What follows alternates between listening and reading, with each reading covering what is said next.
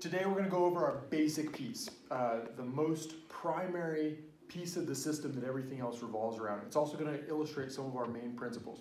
So uh, our first piece is the icebreaker pass, my variation on the knee slice. So as we discussed in the last video, we're going to work past three levels of defenses. The first is the feet. So here, I'm going to use my hands to engage those feet as far away from the hips as possible. Okay? I don't want to get tangled up in any of his guard action here. I want to stop that right at the head of the snake.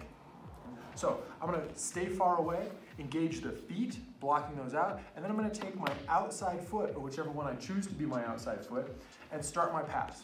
So I'll block those feet, stuffing the one that I'm going to step over down the furthest, and then as I come in over the top of it, I'm going to immediately run past that second shield, right? That second shield sits here at the knees, and here's where our icebreaker comes in. I'm gonna drive directly through that shield and past the hips in one big go. So I've got the knees blocked, I've got the foot stuffed so it's staying between my legs, and then I'm gonna drive past both shields, putting my knee as close to the, their sternum as I can. And I want my partner nice and square.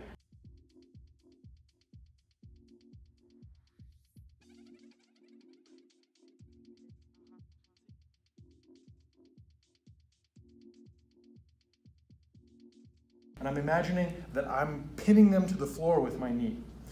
So I drive that down, keeping my feet close together and my hips low with a little bit of flex so I can, I've got some mobility.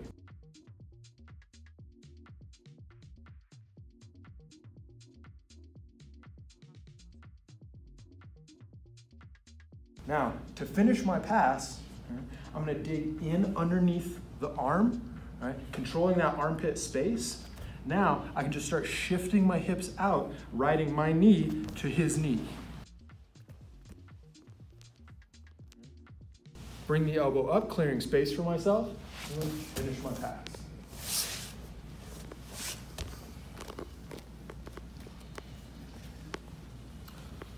So, again from the top, I'm gonna address my three shields in sequence, right? So, hands address the feet, right? stopping that shield right at the head of the snake, as far away from his hips as I can get.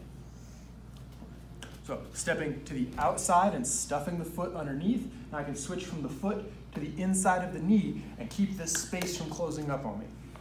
Now, square up and drive directly past both levels of shields putting my knee as close to their sternum as I can and pinning down. I'm putting my weight into their center to keep them square. Now, my hand finds the armpit, controlling that inside space. I'm gonna start to look for the other leg or the other hand and drive my knee to their knee for my knee slice. Now I clear the elbow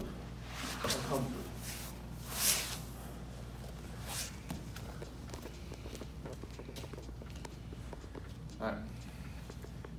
Uh, which pieces do you want to see again and in what way?